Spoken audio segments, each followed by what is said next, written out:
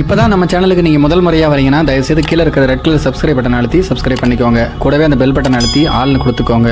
அப்போ தான் நம்ம போடுற வீடியோ உங்களுக்கு தினமும் கிடைக்கும். சரி வாங்க இப்போ நம்ம வீடியோக்குள்ளே போகலாம். நான்கு குழந்தைகளுக்கு தாயான ஒரு இளம்பெண் எதிர் வீட்டு பதினைந்து வயது சிறுவனுக்கு அடிக்கடி ஆபாச வீடியோ காட்டி மயக்கி சிறுவனுடன் பாலியல் உறவு வைத்திருந்ததோடு மட்டுமில்லாமல் வீட்டை விட்டு வெளியேறி தனியாக வாழலாம் என்று அழைத்து கொண்டு போயிருக்கிறார். ஆனால் போலீசார் செல்போன் சிக்னலை வைத்து பின்தொடர்ந்து அவர்களை பிடித்து விட்டார்கள். ஆந்திர மாநிலத்தில் கிருஷ்ணா மாவட்டத்தில் குடிவாடா குட்மெண்ட் பேட்டை என்கின்ற பகுதி இருக்கிறது. இந்த பகுதியை சேர்ந்தவர் சப்னா.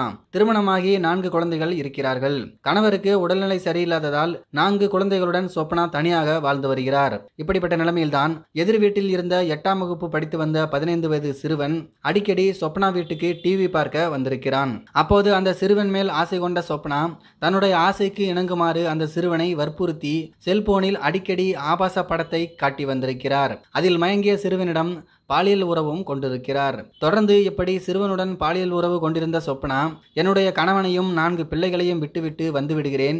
நாம் எங்கேயாவது தனியாக சென்று வாழலாம் என்று சொல்லி கடந்த பத்தொன்பதாம் தேதி அன்று அந்த சிறுவனை ஹைதராபாத்துக்கு அழைத்து கொண்டு போயிருக்கிறார். அங்கே ஒரு ஹோட்டலில் அறையெடுத்து தங்கியிருக்கிறார்கள்.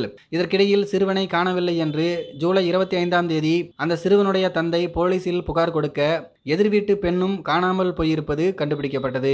அதனையடுத்து சொப்னாவின் செல்போனை ஆய்வு செய்தபோது செல்போனை வைத்து பார்த்தபோது ஹைதராபாத்தில் இருக்கக்கூடிய பாலா நகரில் இருக்கக்கூடிய ஒரு லாட்ஜில் சிக்னல் காட்டியிருக்கிறது. போலீசார் அங்கு விரைந்து சென்று இருவரையும் தற்போது மீட்டு வந்திருக்கிறார்கள்.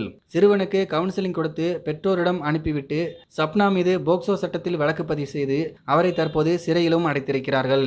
ஏற்கனவே கணவருக்கு உடம்பு சரியில்லை. இந்த பொண்ணுக்கு ஏற்கனவே நாலு குழந்தைங்க வேறு இருக்காங்க. இப்போ அந்த நாலு குழந்தைங்களோட நிலைமை என்ன ஆகுறது அப்படின்னு தான் தெரியலங்க. எவ்வளோ ஒரு நல்ல மனிதனாக இருந்தாலும் இந்த பாலியல் ஆசையால் அவங்களுடைய வாழ்க்கையை எப்படி கெட்டு போகுது பார்த்தீங்களா இதனால தான் அந்த காலத்தில் புத்தர் சொல்லியிருக்காரு போல இருக்கு. ஆசையே துன்பத்திற்கு காரணம் அப்படின்னு சொல்லிட்டு. இதை பற்றி உங்களுடைய கருத்துக்கள் என்ன அப்படிங்கிறத கீழே இருக்கிற கம்பாசில் தெரியப்படுத்துங்க. மேலும் இது போன்ற வீடியோக்களை பார்க்க நம்முடைய சேனலை சப்ஸ்கிரைப் பண்ணிக்கோங்க. நன்றி வணக்கம்.